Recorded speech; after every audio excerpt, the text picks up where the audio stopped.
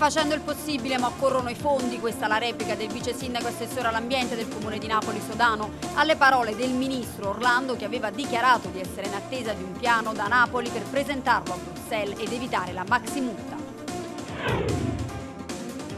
Hai reso un servizio alla città e polemica sul sostegno via web al ragazzo che ha ucciso due presunti rapinatori travolgendoli con la smart mentre erano a bordo di uno scooter.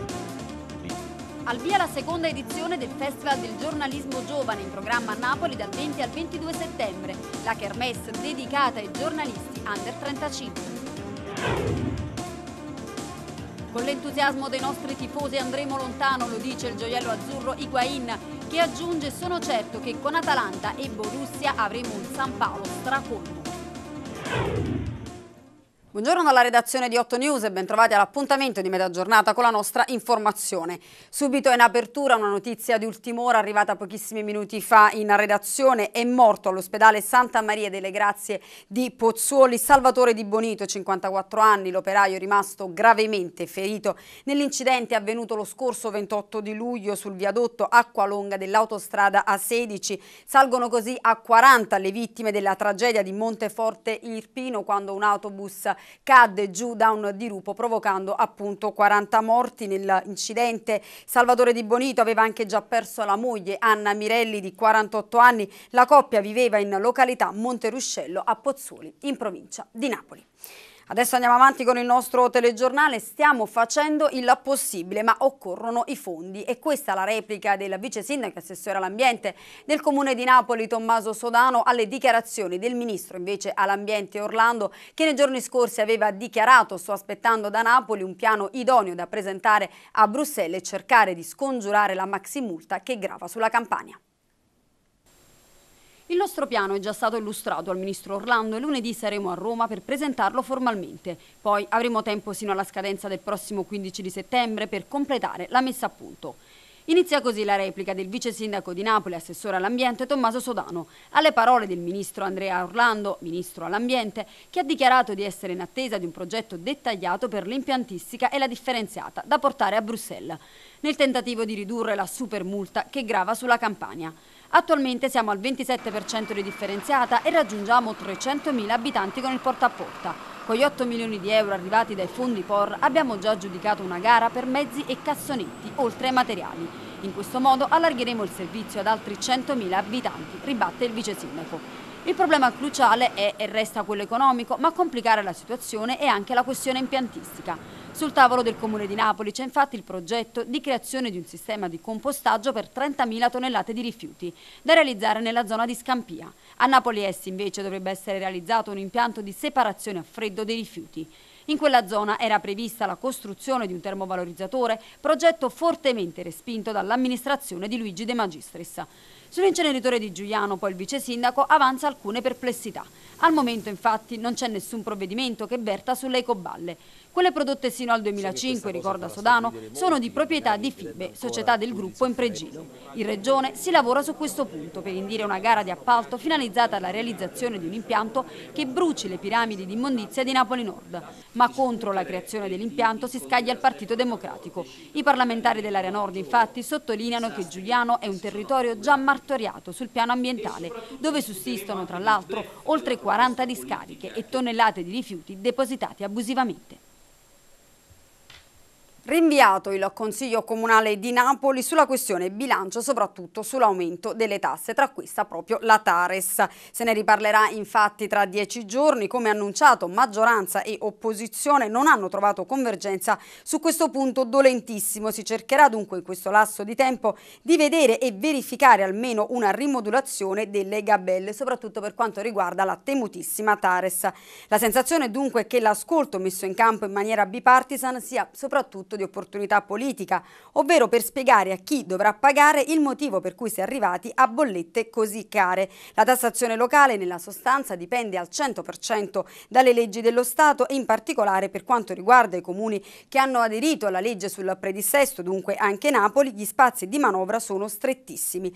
La stangata comunque ci sarà e sarà soprattutto sulla Tares, l'imposta che sostituisce la Tarsu e che sarà salatissima con punte massime del 57%. Dibattito. Un dibattito serrato, quello del Comune di Napoli, dove sono scesi in campo anche i sindacati CGL, CISL, WIL e UGL che hanno incontrato l'assessore alle finanze Salvatore Palma e il vice sindaco Tommaso Sodano. I sindacati hanno chiesto che la manovra sia più partecipata e lo scontro si fa durissimo. L'abbandono assurdo di enormi quantità di rifiuti urbani e speciali sversati nelle piazzole di emergenza delle superstrade tra Napoli e Caserta, in particolare sull'asse tra le uscite di Aversa Nord e Aversa Sud. E quanto viene denunciato dal WWF, spesso questi rifiuti, sostiene Alessandro Gatto, referente per la campagna dell'associazione, vengono date alle fiamme, provocando un grave inquinamento dell'atmosfera. La quantità di rifiuti è talmente esagerata che le automobili trovano grandi grandi difficoltà a fermarsi per eventuali emergenze perché le piazzole sono praticamente invase dai rifiuti anche ingombranti. E continuiamo a parlare di rifiuti, una terra violata e, che da, e deturpata scusate, che da Campania a Felix è stata orribilmente trasformata in terra dei fuochi. Impossibile non associare la celebrazione dell'ottava giornata per la custodia del creato alla cruenta attualità che colpisce il nostro territorio. È quanto ha dichiarato Monsignor Angelo Spinillo nella lettera pastorale rivolta ai fratelli. Giuseppe Porzio. Contare le vittime, curare i malati, avvisare le forze dell'ordine che da qualche parte sta bruciando qualcosa. È diventata questa la triste routine degli abitanti della Terra dei Fuochi che ormai da anni attendono una bonifica del loro territorio, quello che va da Napoli Nord alla provincia di Caserta Sud. Le associazioni chiedono aiuto al Presidente della Repubblica Napolitano in un'accorata lettera, mentre le diocesi di quella zona deturpata e violentata dalla Camorra organizzano la Marcia per la Vita, nell'ambito della giornata per la custodia del creato, come spiega Monsignor Spinillo, vescovo di Aversa. Questa nostra gente vive e soffre questa condizione di, di sentirsi oggi come condannata, lo vive come una condanna, una condanna eh, contro la quale nessuno ha alzato una parola eh, diciamo, per fare un po' la parte del difensore, per fare un po' la parte di chi si opponesse alle, a certe ingiustizie e che eh, però oggi eh, eh diciamo, pesa, pesa pesa gravemente sulla, sulla vita eh, di tutti.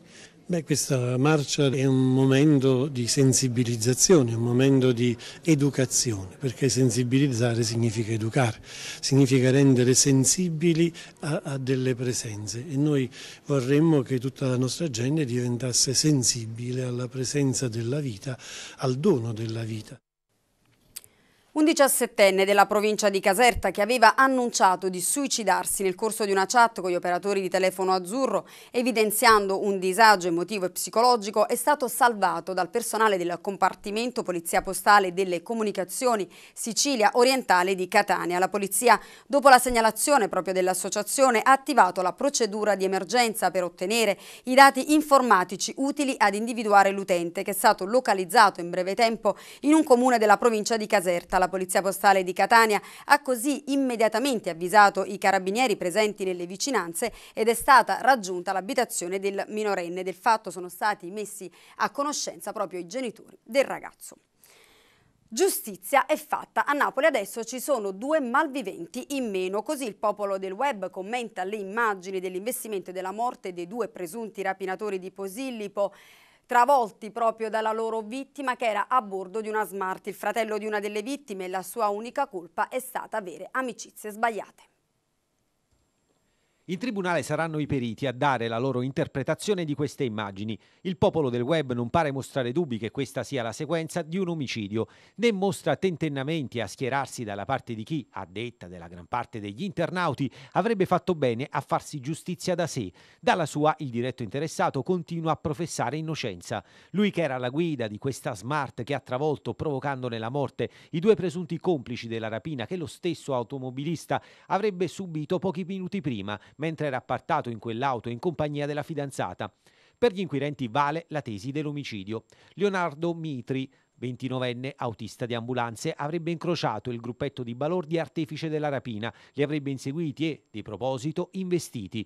Il giovane si trova dal 26 agosto agli arresti domiciliari disposti dal GIP sulla base di una ricostruzione che smentirebbe la versione fornita da Mitri, secondo il quale, nel tentativo di sfuggire a un nuovo tentativo di rapina, avrebbe involontariamente urtato lo scooter sul quale viaggiavano Emanuele Scarallo e Alessandro Riccio, entrambi con precedenti penali.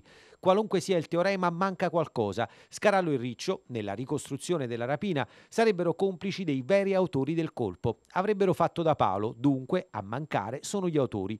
Due giovani, quanto lo erano le vittime, due malviventi descritti come specialisti in colpi di questo tipo.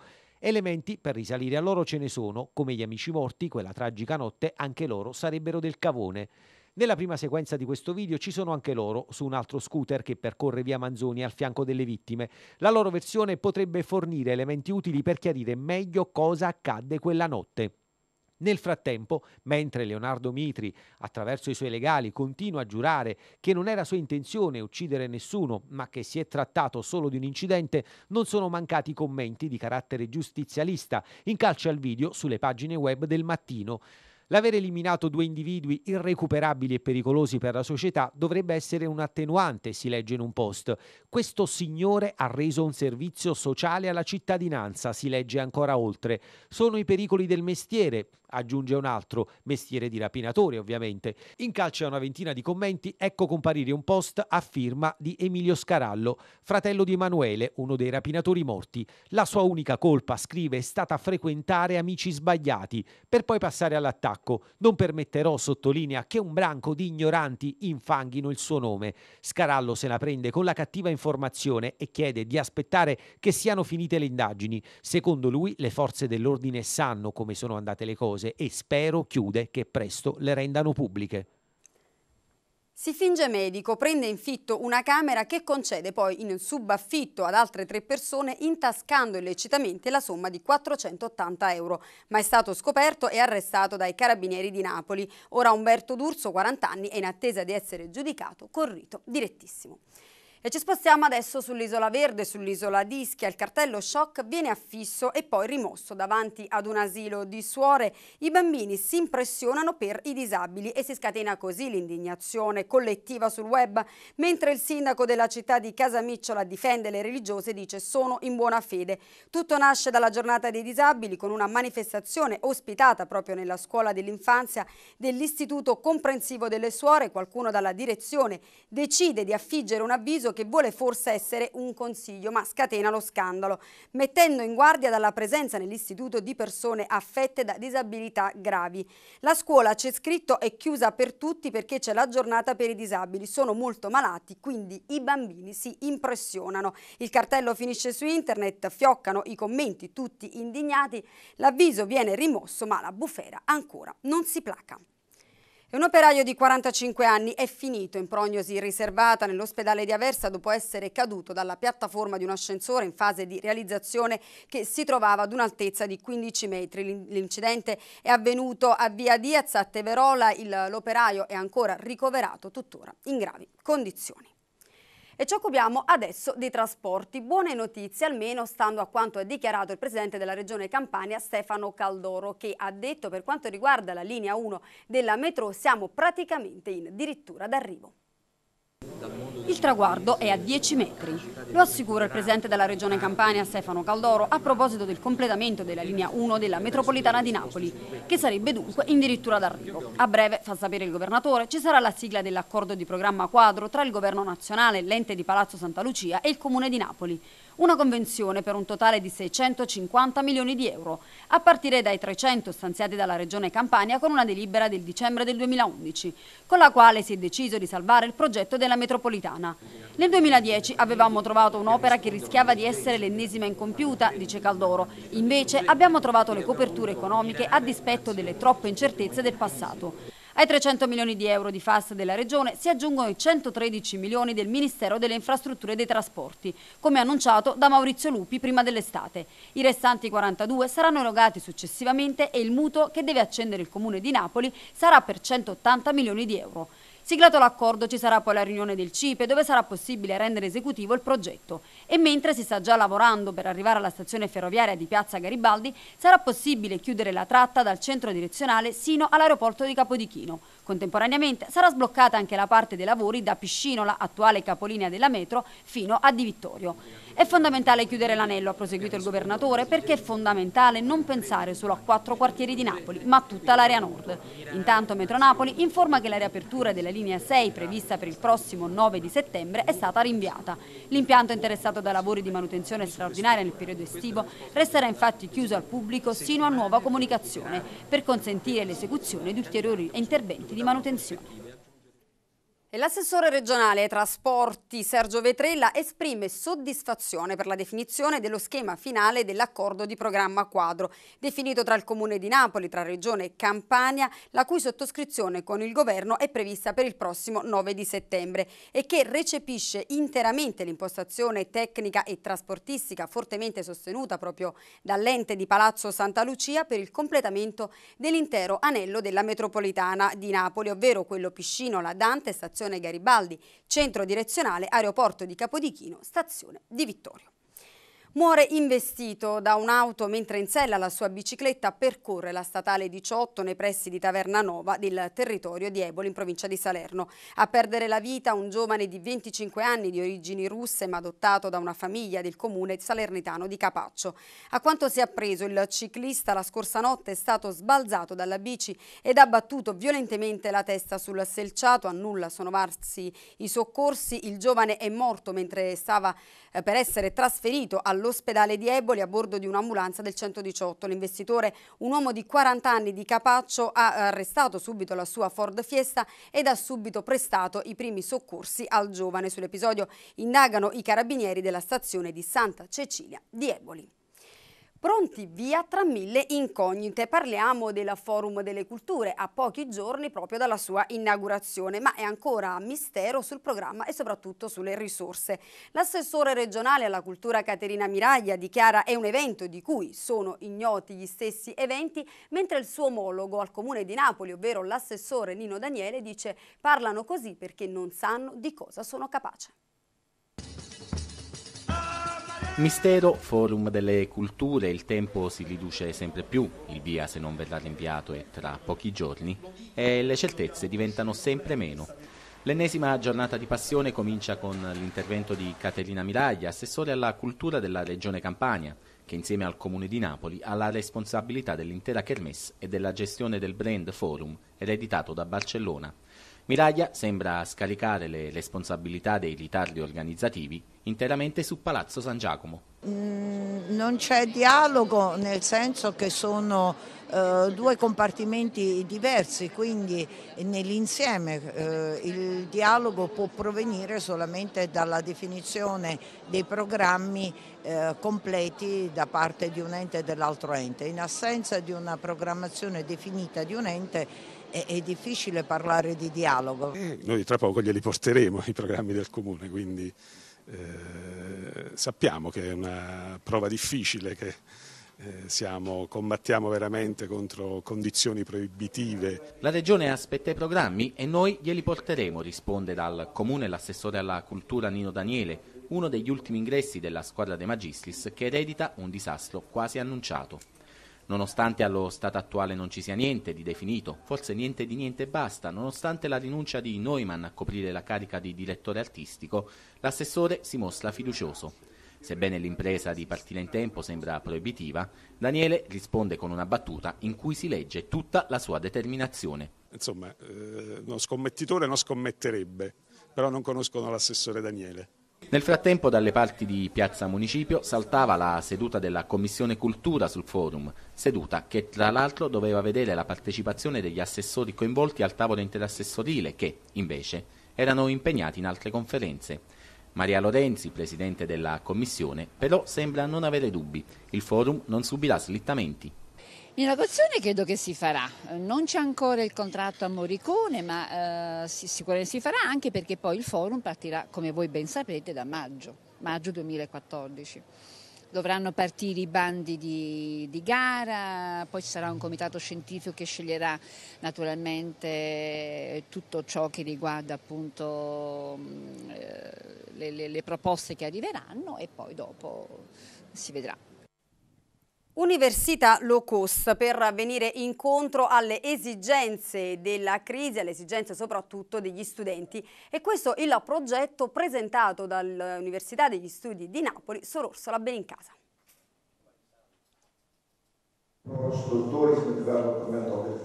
In un momento di gravi difficoltà economiche per tutte le famiglie, vista la crisi che non cessa il suo corso, quando da più parti si sono invocati interventi urgenti da parte delle università per ridurre le tasse e dare la possibilità al maggior numero di studenti di iscriversi alle facoltà, all'Università Sor Orsola Benincasa hanno pensato ad un vero e proprio pacchetto di misure anticrisi.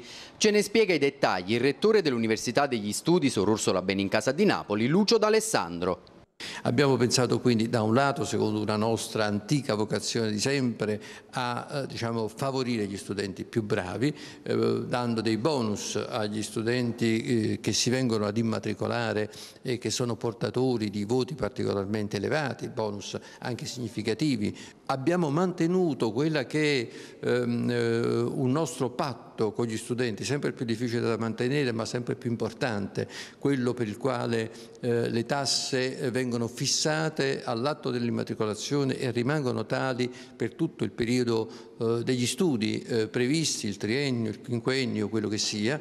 E poi abbiamo anche previsto, noi abbiamo molti eh, numeri chiusi perché siamo un'università che cerca di guardare ehm, alla qualità del servizio che può rendere allo studente, di proporzionare il servizio al numero degli studenti, eh, di fare in modo che eh, la piccola tassa, veramente modesta, che gli studenti pagano per il servizio eh, del test di accesso, la paghino una sola volta. È come se fosse un, una specie di orientamento. Possono fare eh, tutti i test che vogliono, pagano una sola tassa e quella tassa, ove si iscrivono presso di noi, viene loro rimborsata. È un modo eh, per, eh, come dire, per testare la serietà dell'intenzione ma anche di aprire quanto più possibile le porte eh, di un'istituzione che si caratterizza poi per la eh, varietà estrema eh, degli incontri scientifici, didattici ma anche professionali che sono presenti nel circuito, nel network dell'Ateneo non ha fatto registrare il cosiddetto e atteso pienone di partecipanti la prima edizione del Capri Rainbow, la kermesse dedicata al turismo gay che ha preso il via ieri sera sull'isola azzurra. Circa 50 persone hanno preso parte al cocktail di benvenuto della manifestazione in corso per tutto il weekend sull'isola di Capri. Complessivamente hanno reso noto gli organizzatori, hanno aderito 150 persone prenotando il pacchetto turistico negli hotel dell'isola. Non c'è stato dunque l'assalto inizialmente previsto. Capri storicamente e sempre accogliente nei confronti dei gay e anche questa manifestazione si sta svolgendo nel massimo della serenità con eventi culturali, percorsi gastronomici, passeggiate teatrali, escursioni intorno all'isola. Oggi pomeriggio nella sala convegni dell'hotel Capri Palace il giornalista Alessandro Cecchi Paone modererà un convegno sul turismo gay in Italia e sulle nuove opportunità di sviluppo. Lavoro e diritti, start-up e nuovi media. Saranno questi i temi al centro della seconda edizione del Festival del giornalismo giovane. In programma al Palazzo delle Arti di Napoli dal 20 al 22 settembre prossimi, un appuntamento che si rivolge soprattutto ai giornalisti under 30. Il festival che richiamerà a Napoli un migliaio di partecipanti è stato presentato a Palazzo San Giacomo e si parlerà anche di opportunità e di questioni femminili nel mondo dei media alunni delle scuole superiori. Sarà Napoli a ospitare la prossima edizione del Festival del giornalismo giovane in programma dal 20 al 22 settembre al Palazzo delle Arti di Napoli. La Kermesse porterà nel capoluogo campano giovani giornalisti, o come va di moda a dire oggi, giornalisti 2.0, per una tre giorni il cui tema fondamentale sarà l'occupazione. I lavori si tradurranno infatti in suggerimenti ai giovanissimi operatori della comunicazione su come trovare impiego, dall'estero alle cooperative sociali. Simone D'Antonio, presidente Yacht Press Italia. Questa seconda edizione sarà totalmente incentrata sul tema del lavoro. Cercheremo di dare delle indicazioni pratiche ai ragazzi che si accostano alla professione o che sono già all'interno del giornalismo e cercheranno anche di uh, evolvere sia a Napoli che in Italia o anche in Europa. I temi che tratteremo quest'anno saranno saranno quelli dell'integrazione dei giornalisti giovani di seconda generazione, ma anche il tema dell'innovazione, quindi dei nuovi media, come anche il tema dell'Europa e quello delle donne, quindi l'accesso alla professione delle colleghe. Insomma, questi sono dei temi che forse non sono ancora pienamente al centro del dibattito in Italia, ma invece noi riteniamo che possano diventare dei temi fondamentali come lo sono anche nel resto d'Europa. Un'iniziativa dalla duplice valenza se si considera il grave periodo di crisi che attraversa l'intero settore editoriale, che però continua ad affascinare i giovani. Problemi che sembravano interessare solo la filiera della carta, infatti, stanno negli ultimi mesi espandendosi anche alle televisioni, con le emittenti locali e regionali, che spesso sono costretti ad alzare bandiera bianca. Ma secondo il presidente dell'Ordine dei giornalisti campani, Ottavio Lucarelli, ci sono spiragli per sperare ci si stanno aprendo, aprendo alcune possibilità. Eh, soprattutto eh, diciamo, i colleghi, i giovani professionisti di prima o di seconda generazione come hanno chiamato, diciamo, eh, che stanno riuscendo a lavorare sono soprattutto quelli che negli ultimi anni si sono messi assieme, hanno creato piccoli consorzi cooperativi, web tv, e utilizzando bene diciamo, il web, stanno riuscendo a lavorare, ma tutto questo avviene sempre in un contesto molto molto difficile. Quarta edizione per il Pumba Rock Music Fest, il fortunato appuntamento live di fine estate organizzato dal Forum dei Giovani e dal Comune di Sant'Antonio Abate con l'associazione culturale App Arte. L'evento si terrà nel Comune appunto di Sant'Antonio Abate il 13 e 14 settembre con inizio alle ore 18 e con ingresso interamente gratuito. Anche quest'anno il contest darà l'opportunità a sei artisti di esibirsi nelle due giornate della rassegna, tra essi sarà poi selezionato un vincitore a cui verrà offerta la produzione e distribuzione di un singolo, nonché la possibilità di esibirsi live in alcuni dei migliori festival della Campania. La giornata di venerdì 13 di settembre avrà come protagonisti i Sud Sound System, i Meganoidi e gli RFC. La giornata invece di sabato 14 di settembre avrà una forte impronta territoriale e vedrà alternarsi sul palco dei migliori artisti campani del momento, i Foia, Yalma Megritta e Clementino, il rapper.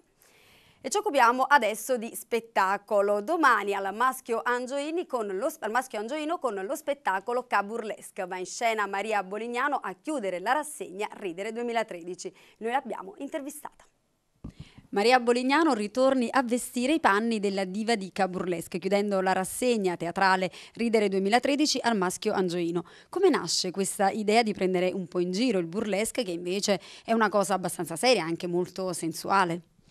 Ah, eh, in realtà nasce così, eh, istintivamente, perché io ho sempre pensato, e le mie colleghe lo sanno, perché io a volte faccio proprio delle conferenze su questo fatto, che non necessariamente la donna per far ridere ha bisogno di essere brutta, racchia, corta, chiatta brutta, vecchia, che è uno stereotipo un po' eh, italiano.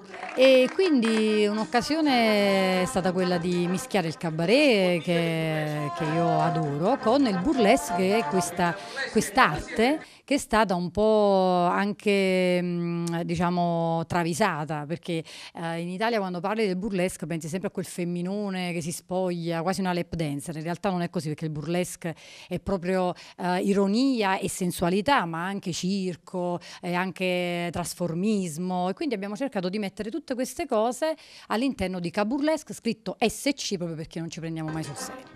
L'ironia appunto è proprio il filo conduttore della tua comicità, tu prendi in giro soprattutto le donne e soprattutto dai anche questa idea di antidiva, oggi sempre di più l'aspetto estetico portato ai massimi livelli diventa l'elemento principale in televisione, tu fai tanto teatro, fai anche televisione eppure riesci a portare l'immagine di una donna vera, di una donna che riesce a far ridere anche senza eh, portare avanti l'idea della diva. Ma per forza non è che tengo il fisico di un roller diva, quindi per forza deve essere così, cioè sono costretta dalla natura a essere un'antidiva, no? eh, però a questo punto ho approfittato e dico facciamo vedere che anche alle altre donne che non sono delle figone che possono fare tutto quello che vogliono nella loro vita, quindi anche far ridere però senza, cioè, prendendosi in giro ma sempre in maniera eh, mai offensiva, mai eh, denigratoria, sempre, non dico intelligente perché pare che dice tu fai cose intelligenti, no, però eh, non stupide, ecco diciamo così, ci salviamo. Secondo te te le donne si prendono troppo sul serio in questo periodo, in questo momento storico? Ma tutti ci prendiamo un po' troppo sul serio. Io mm, per niente, vedi come vado in giro, vado in giro con la crinolina nella mia macchina. L'ho tolta perché ho detto va a finire qualcuno passa e sa roba perché eh, non so se si può vedere. Eh, lui non ha molta, capito? Eh, Vedi, una crinolina, io metterò anche questo, quindi immaginate cosa accadrà. a 40 anni ha persa capo, ebbene è così. Maria, allora diamo l'appuntamento con Caburlesque. Caburlesque, 8 settembre, domenica, Maschio Angioino, ore 21 e per le prime 100 persone, che anzi 100 coppie che verranno, ci sarà anche un piccolo gadget targato Caburlesque, che è una pallina antistress che di questi tempi fa benissimo. Saluto tutti i miei colleghi che sono straordinari, non li elenco tutti perché Simone Scordino c'era guerra, quindi va bene così, Caburlesque. This is a man's world.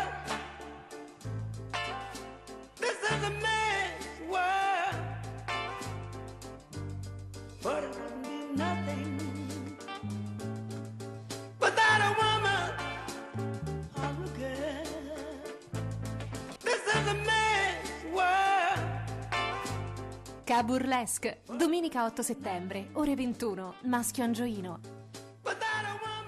Adesso la linea torna alla regia per una breve pausa pubblicitaria. Noi ci ritroviamo subito dopo con la nostra pagina sportiva.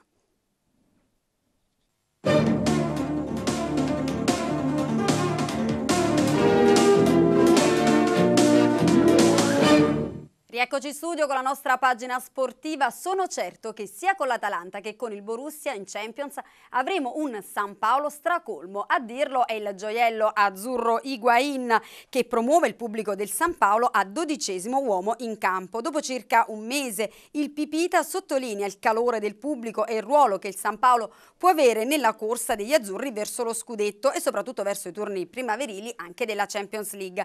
Da quando sono a Napoli, dice Higuain, sento quotidianamente quotidianamente il calore dei napoletani e sono certo che nelle prossime due partite avremo un San Paolo stracolmo che ci sosterrà e ci spingerà con ancora maggiore forza. Del resto l'entusiasmo intorno all'attaccante argentino e va detto anche al nuovo Napoli di Benitez in città è già enorme. Per il Borussia Dortmund sono già infatti in vendita i biglietti con il diritto di prelazione per quasi 13.000 abbonati del Napoli e si prevede che praticamente tutti confermeranno il loro posto allo stadio. E con questo si chiude questa edizione di 8 News, la nostra informazione ritorna puntuale alle 19.30. Grazie per averci seguito, buona giornata.